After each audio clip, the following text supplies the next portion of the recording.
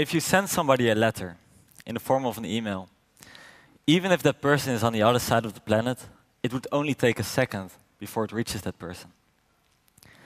In the past, we did things very differently. We used birds, homing pigeons, to deliver our letters. How long do you think it would take a bird to deliver that same letter? I did a quick calculation, and if the bird knows exactly where to go to, it doesn't take any rest, it would take him about 10 days, which I would say is pretty impressive. But comparing 10 days to one second, that difference is huge. Communication hasn't been the only industry relying on animals for transportation. The fastest way of getting from A to B was by riding a horse. And also, we used animals for the heavy work on the land.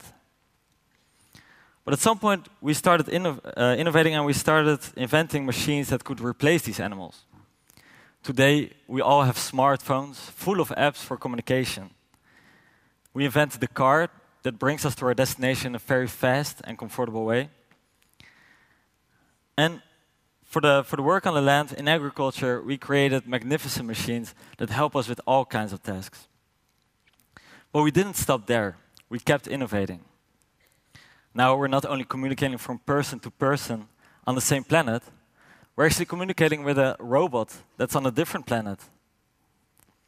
We're not only traveling over land and over water, we're flying through the sky and through space. And even when it comes to something like growing plants, we did not stop innovating. Today we're using smart sensors and robotics to increase the yield, and we're growing large amounts of vegetables inside cities and even deserts. So looking at these three examples, you can see a pretty clear trend. First, we're relying on animals for thousands of years then we invent machines that could replace these animals, making the process much faster, much cheaper, and much more reliable. And because we bring technology into the game, we can really start to think big and start creating stuff that were unimaginable before. So if you look at that trend, you would say that all industries out there would probably already have gotten rid of the animals in their industries, right? Unfortunately, this is not the case. About two years ago, my sister asked me to watch this documentary called Cowspiracy. And I was a bit skeptical because I knew it was going to show me the impact of my favorite food. But I still gave it a try. And what it does, it, it shows, based on reports by the Food and Agriculture Organization of the United Nations, what the impact is of our meat consumption on a global scale. Because we're with a lot of people on this planet and we love to eat meat. And because of that, there is also a lot of farm animals on this planet. By the end of today, we have killed 200 million land animals. Just like we did yesterday, and just like we did the day before yesterday. To grow them, we used a lot of water, not only for them to drink, but also to grow the crops that feed them. And growing all these crops take up a lot of land as well. So actually 30% of all land on Earth is devoted directly or indirectly for the meat industry, and is thereby the leading cause of the, of the deforestation in the Amazon. But on top of all of that, we have this problem with the global warming and climate change. And we're all familiar with carbon dioxide, CO2. But these animals, and especially cows, they're producing a gas called methane, which is a much stronger greenhouse gas. And partly due to that, this industry is responsible for 14.5% of all greenhouse gas emissions, which is actually more than all cars, trains, and uh, airplanes combined. So, watching this documentary actually made me pretty upset and quite frustrated of what we're doing to this planet. But also that same day, I decided that I wanted to work on a solution. And I remembered, I remembered uh, this professor. Oh, I have to go back this professor who presented the world the first ever hamburger grown in a laboratory. And I really like that concept because why would you grow the whole animal if you can actually only grow the part that we're eating? Back then, I was still studying mechanical engineering and I didn't know anything about culturing meat, but uh, I learned mostly about robotics and automation. But I read that it took them three months and a small team to create this single hamburger. So I figured they might need some automation there.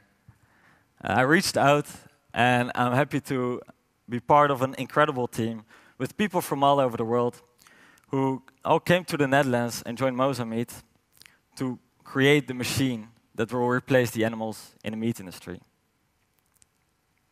So how will such a machine look like? Well, uh, it will be roughly like this.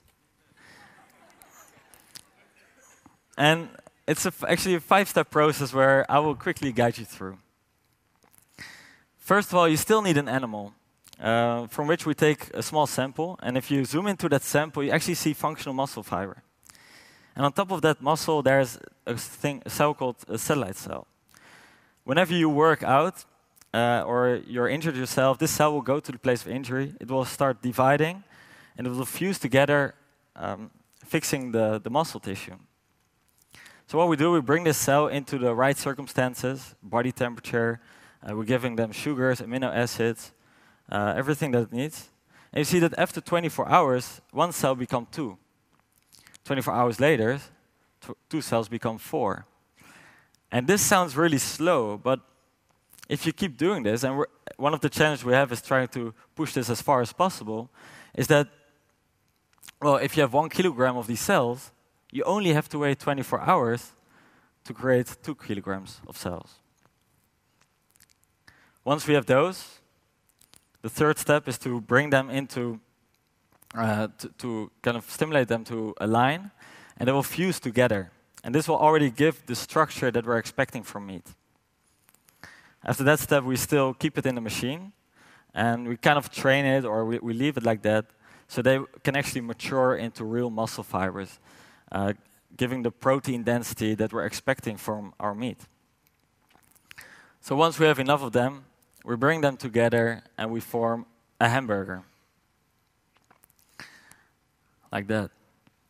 But of course, we're not going to st stop there. Uh, we also want to create meat from other animals, but also we want to create st a steak, for example. So we're definitely going to work on that as well. So, but the question is, once we have these machines ready, how does the farmer know that it's time for the next generation? It's time to start investing in these machines instead of breeding more of these animals into existence? Because in the end, this farmer also decided to buy a tractor instead of buying a horse, right? So how do you compare a machine to an animal?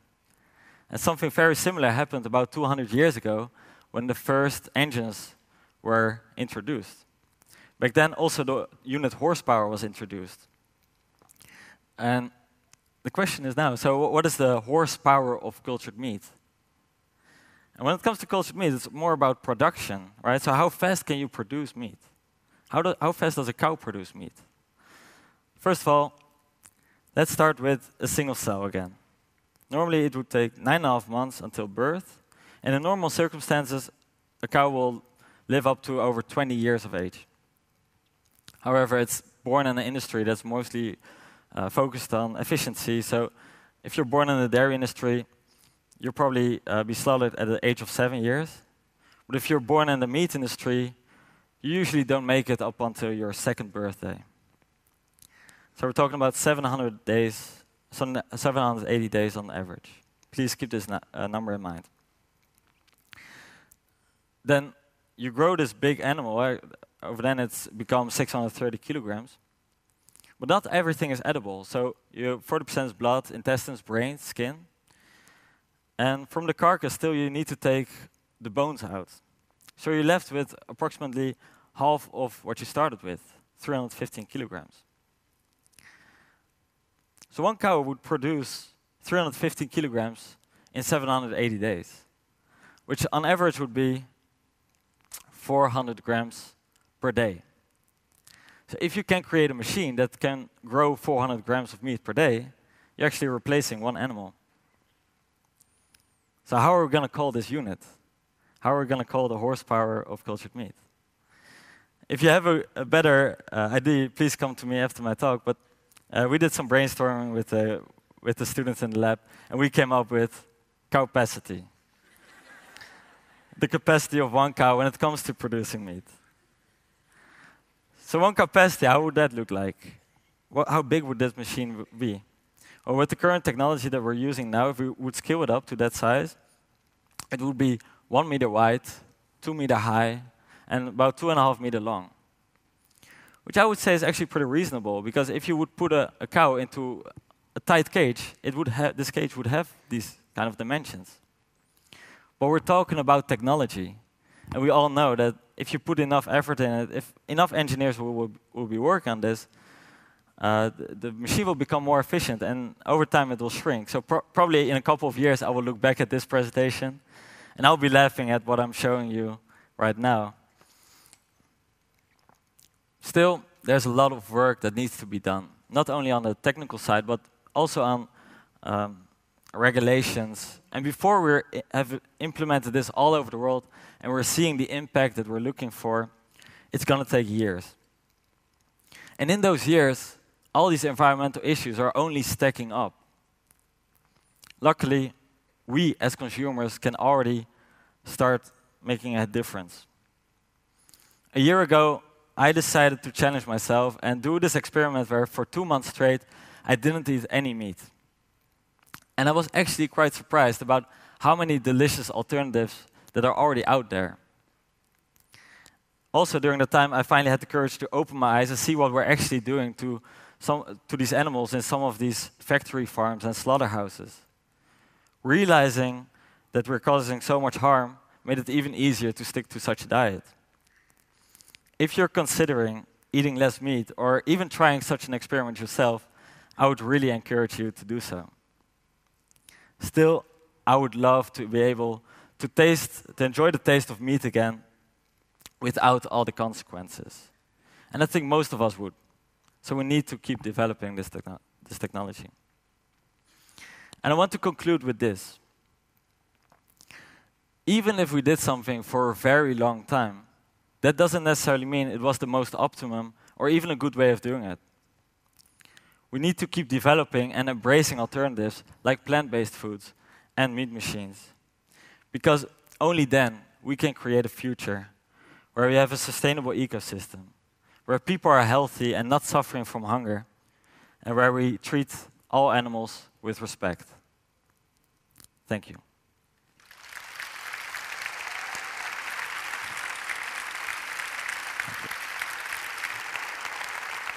Hmm.